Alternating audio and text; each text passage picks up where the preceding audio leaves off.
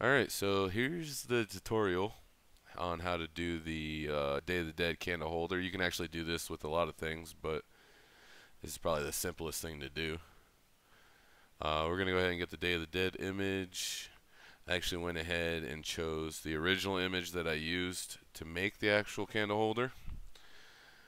Uh, so what I'm going to do is I'm going to save this image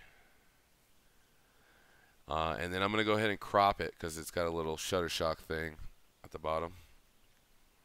So I'm going to save it.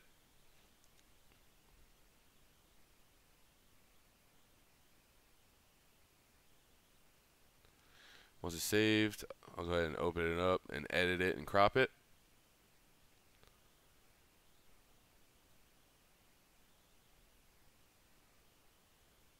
Little boom boom there. That was easy. Save a copy.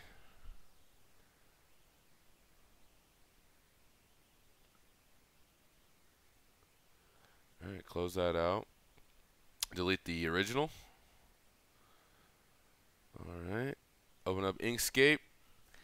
And what we're doing here is we are going to make it an SVG file. So the whole key of this is making an SVG. Fusion 360 allows you to bring in an SVG uh, but not a lot of other things. So we're going to go ahead and increase the size of it. And then I'm going to go up and uh, edit the bitmap trace. So we're going to scroll down, trace bitmap, copy these settings, just hit OK. Then next we're going to drag the bitmap trace, delete the original, Bring back the bitmap trace. And we're going to save it as an SVG. Boom, SVG. Change the name. Now this is going to give us our workable sketch that we can bring into Fusion. So that's done. Close it out. Move that there so we know where it's at. Delete the original.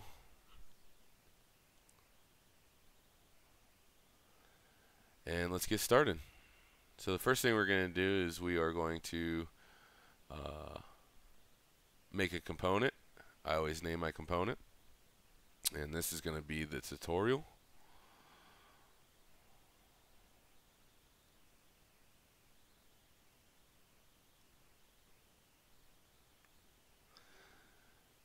Now we're going to construct the actual uh, candle holder itself without the image. So we're going to go to uh, make a circle. And I'm going to make this a 100 millimeter, I believe. And then we're going to take it up to 125.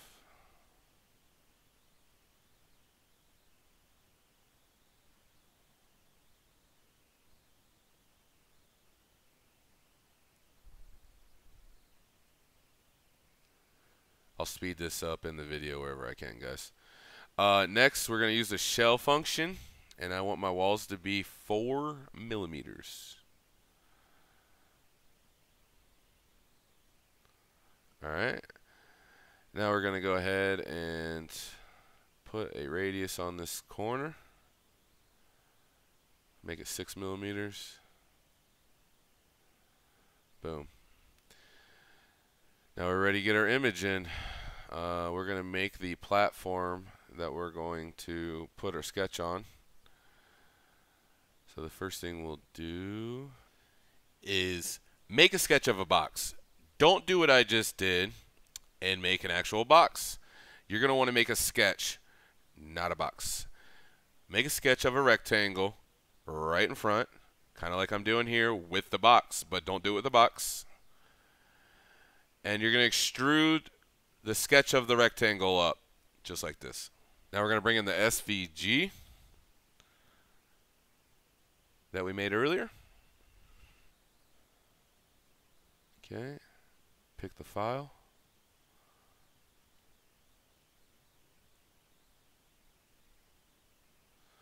Alright, it takes a second to import, but once it does, you'll see it.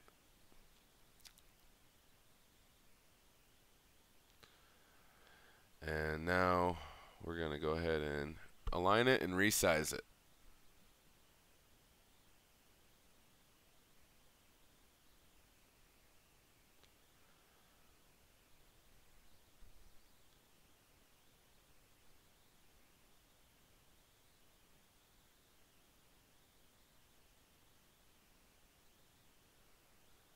All right, now comes the fun part. We got to click all these things. so what I'm going to do is speed this up.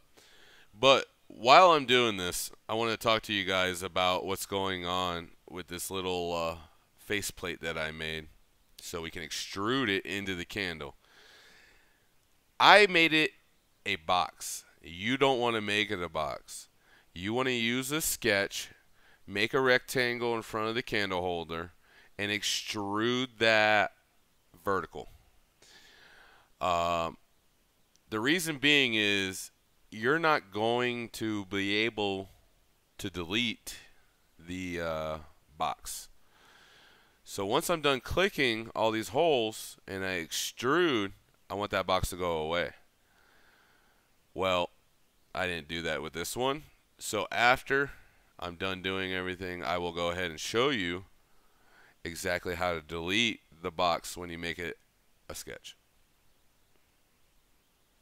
All right, next we're going to go ahead and extrude this from everything we selected.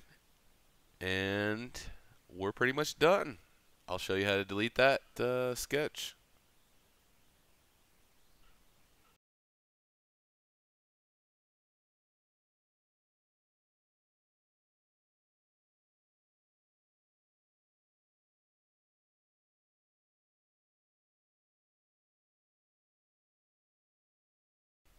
All right.